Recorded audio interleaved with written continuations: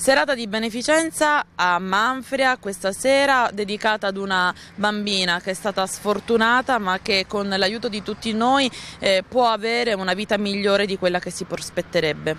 Allora, eh, intanto sì, abbiamo conosciuto diciamo, più da vicino eh, Naomi, eh, la mamma, la famiglia di Naomi eh, e quindi abbiamo ci hanno coinvolto, diciamo, perché eh, la bambina è dolcissima, è, è, proprio, è proprio, bello avere Naomi eh, tra noi, eh, il suo sorriso.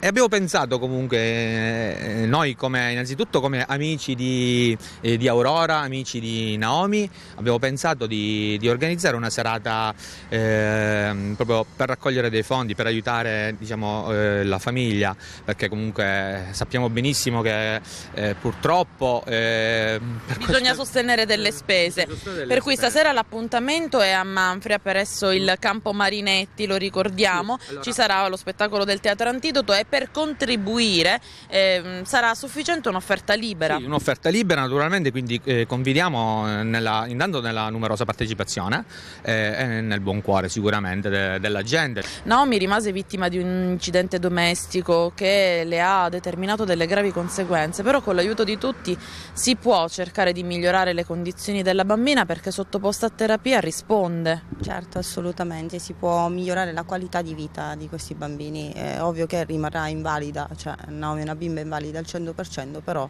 eh, insomma assolutamente. E queste cure eh, per lo più vengono effettuate fuori dall'Italia, questo è, bisogna dirlo? Certo, queste in particolare vengono fatte in un centro neuroriabilitativo, si chiama Delie in Slovacchia. Io vado mirata, vorrei andare mirata per... Eh, in particolare una camera, insomma, fanno una specie di mm, una preparazione come, come, gli uomini prima di andare allo spazio, quindi che servirebbe a Naomi sul motorio, insomma. Quindi... Sostanzialmente la bambina eh, migliora le sue capacità motorie? Migliora le, le, capacità motorie se si lavora sul motorio, migliora le capacità cognitive se si lavora sul cognitivo, così come insomma, la deglutizione, insomma, devi, si lavora su tutto. Che cosa si augura oggi lei per Naomi? Per Naomi mi auguro, non, non, voglio pensare troppo in grande, troppo in là, quindi su quello che arriva allora tu non, lo te l'aspetti e, e arriva, lo, lo cogli come miracolo.